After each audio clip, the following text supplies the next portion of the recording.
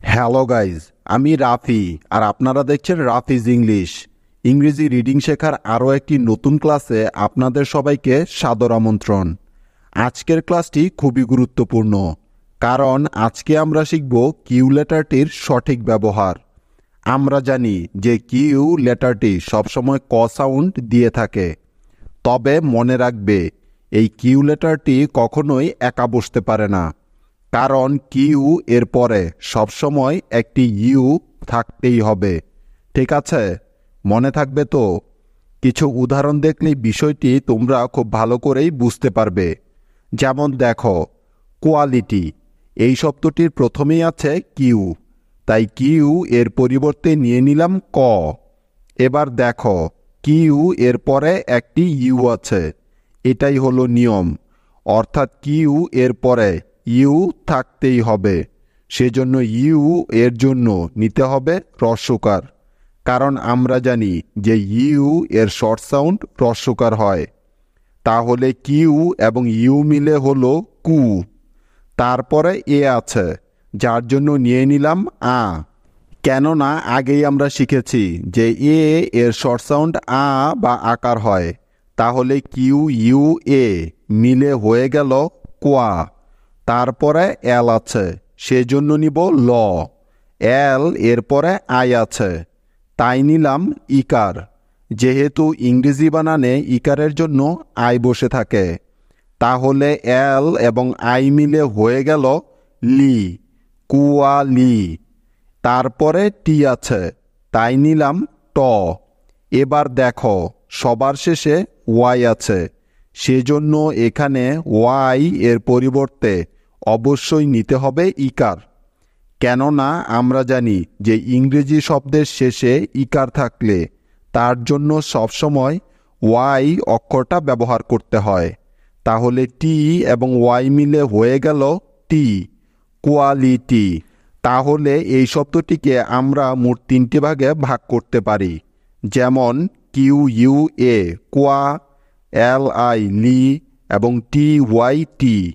Quality quality অর্থ হল গুণ বা মান। দেখলে তো বন্ধুরা, এই শব্দটিতে কিউ এর পরে ইউ বসেছে। এক কথায়, ইংরেজি ভাষায় এমন কোনো শব্দ নেই যেখানে কিউ এর পরে ইউ নেই। বুঝতে পেরেছ তোমরা? তাহলে চলো নেক্সট শব্দটি দেখে নেওয়া যাক। কুইট। লক্ষ্য করো, এই শব্দটির প্রথমেই পেলাম কিউ। তাই কিউ এর পরিবর্তে নিয়ে নিলাম ক। কিউ এর পরে ইউ আছে। অর্থাৎ নিয়ম অনুযায়ী ইউ হয়েছে। তাই না? সুতরাং ইউ এর জন্য নিয়ে নিলাম রস্যকার তাহলে কিউ এবং ইউ মিলে হবে কু। তারপরে আই আছে, যার জন্য এখানে নিতে হবে ই। কারণ ইংরেজি বানানে ই বা ইকারের জন্য আই বসে। আই এরপরে টি আছে। সেজন্য নিতে হবে ট। তাহলে আই এবং টি মিলে হয়ে গেল ইট, কুইট।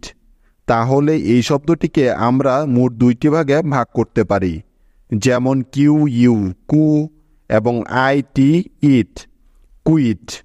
Quit অর্থ হল প্রস্থান বা অবসর। দেখলে তো, এই শব্দটিতেও কিউ এরপরে ইউ বসেছে। আশা করি তোমরা সবাই বুঝতে পেরেছ।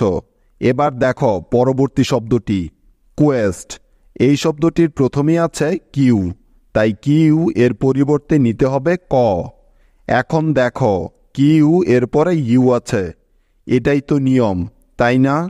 তাই ইউ এর পরিবর্তে নিয়ে নিলাম রস্যকার তাহলে কিউ এবং ইউ মিলে হলো কু।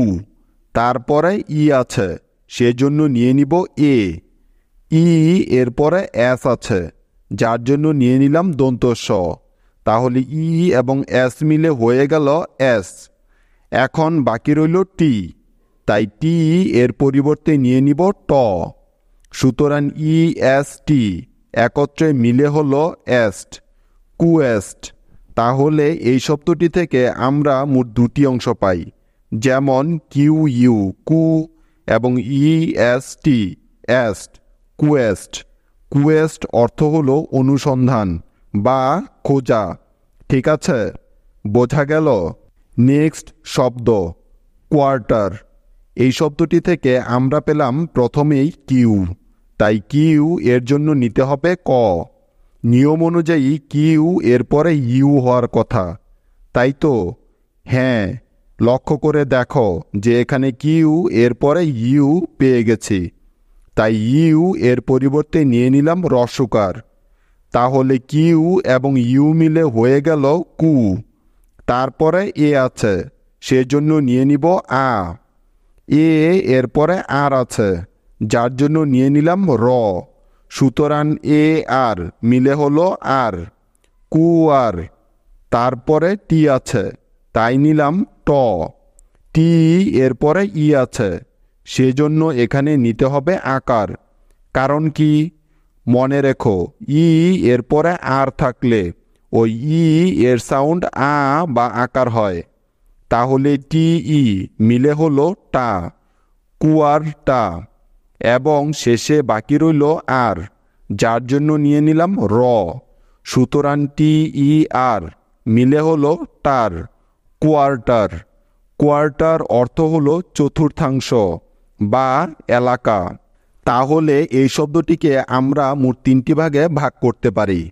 যেমন কিউ ইউ কু এ আর আর এবং টি ই আর টার কোয়ার্টার।